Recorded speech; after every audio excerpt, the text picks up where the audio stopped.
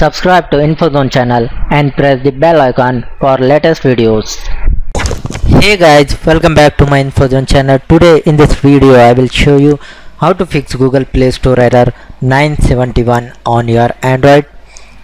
So before this guys, you please subscribe to my channel. So first you restart your device. After this you try to open your Play Store and next one method is you clear your all cache and data from you. Your Play Store app. You go to your phone setting app. Next go to your applications.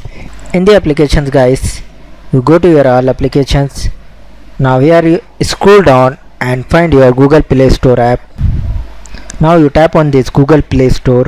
Here you tap on this clear cache tap on clear data. Tap on ok after this you tap on force stop tap on ok.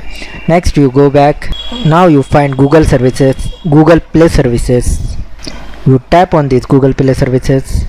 You tap on clear cache tap on clear data tap on ok. After this you tap on force stop and tap on ok. Once you need to go back. Next you need to find google services framework. You tap on this google services framework. Here guys you tap on clear data tap on ok. Next you tap on force stop tap on ok. Once again you go back. And next you find download manager app.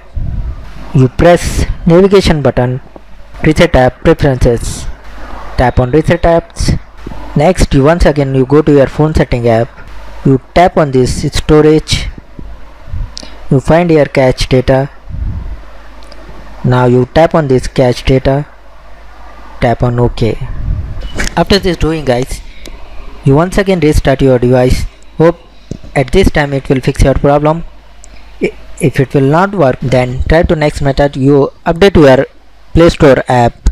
And last one method is you uninstall your play store app play store app completely from your device. And once again you download a new app on your device. Hope you like this video. Thanks for watching. Please like share and subscribe to my channel